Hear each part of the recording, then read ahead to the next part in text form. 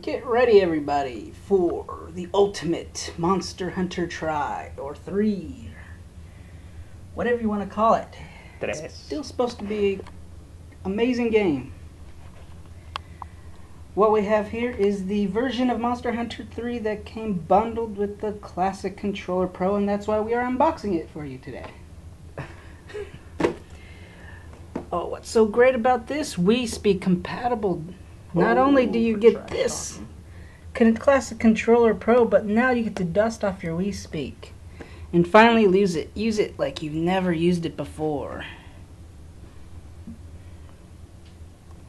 Wii Speak, two player nunchuck, and Classic Controller compatible.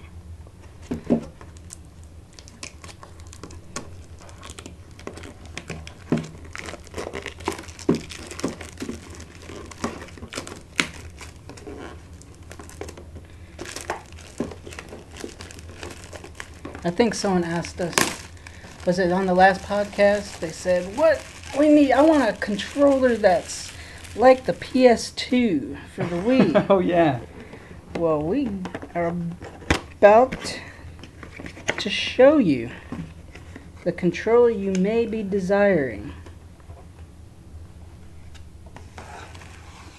It's tucked away beautifully, right in the back. Ladies and gentlemen, I present to you Dun, dun, dun, the Classic Controller Pro. oh wow. So sleek, so shiny, matte finish on the back, glossy finish on the top. Of course, this part looks very, very familiar. You know, the original classic controller, D-pad, analog sticks.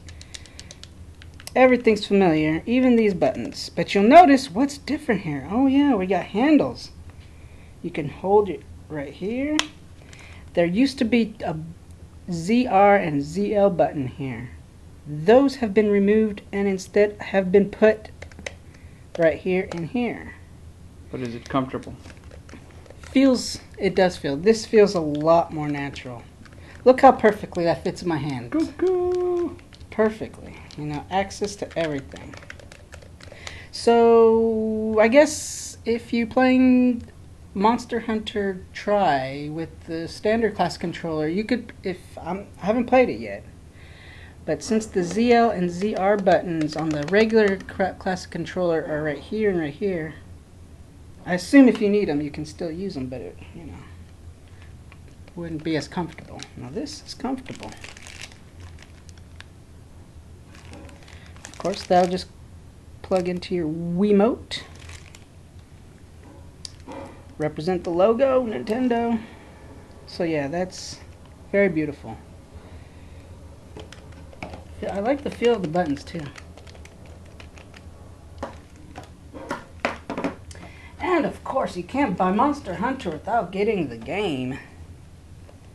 And there's the game. Oh, what a cute little character. He wasn't in the demo. No, they left him out of the demo. Surprise for the people that plunked down the money. For the retail. Instructions on how to use your Classic Controller Pro. Standard enough stuff. So there you go. That is it. Hope you guys uh, enjoy the Classic Controller Pro. It is sold separately in white or black for 20 bucks pretty much anywhere. Play on, player.